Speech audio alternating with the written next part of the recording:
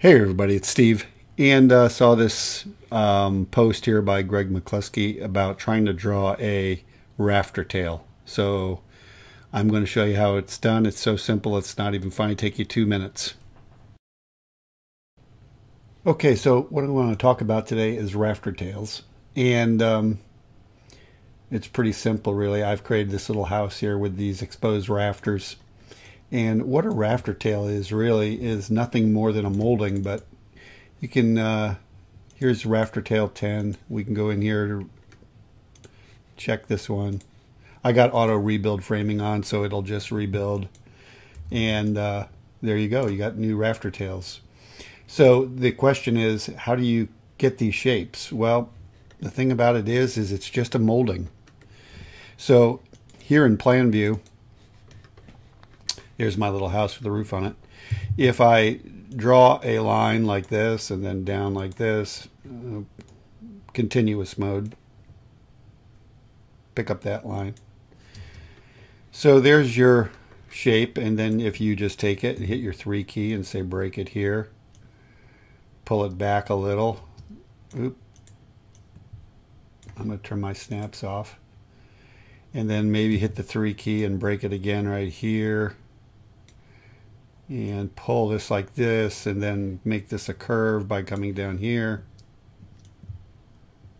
And then clicking this again maybe here and pulling it back a little.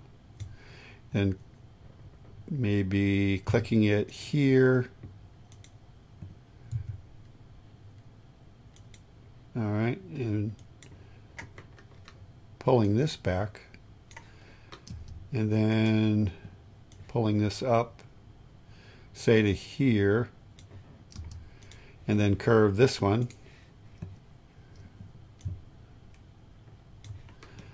And we have a new shape, say, right here. And you can just save this now. Just go like this, highlight the whole thing, come down here. Here's your library button.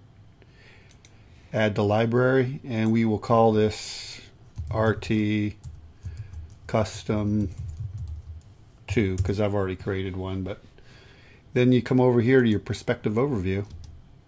Uh, so let's open this not this let's open this um, roof up. And change the rafter tail replace it. Go down here to my user catalog. Pick custom 2 click OK um, and we will just see it saved it as it's as the width but um, let's just click OK and see what happens. There you go. And uh, it just stretches to fit the rafter whatever it is and so there's your there's the rafter tail I created.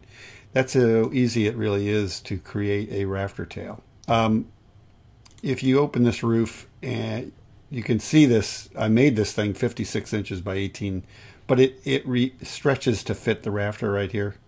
So it doesn't really matter. Uh, I mean, you could um, uh, make this a little more accurate. Maybe use a polyline like this and say make it 24 by minus 9.25. Okay and then I'm going to take my line weights off. Then just mani manipulate the end here you know.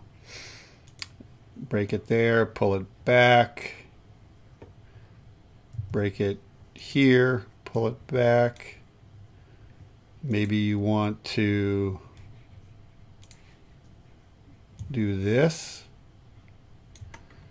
I don't know why you'd want to do that. That's pretty hideous. I mean you can make any shape you want is I guess my point okay? And uh, let's just pull this right out to here. Boy that's lousy.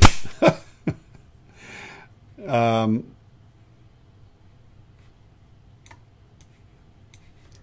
it looks like a some kind of sailboat but anyway in fact we can just make this even smaller like this and uh, my point being here, let's just make this straight again. And break it right here and then make this a curve and pull it in. There. Now that might be a little more interesting. No, it's not.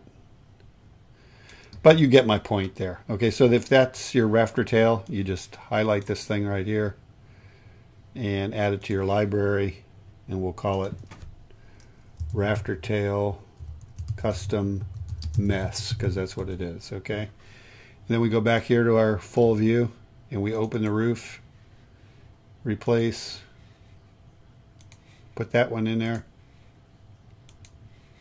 There you go. There's our mess exaggerated to the max and uh, standard view, which you can't see it very well, but um, vector view. So pretty much anything you create in plan view, you can turn it into a uh, to a rafter tail.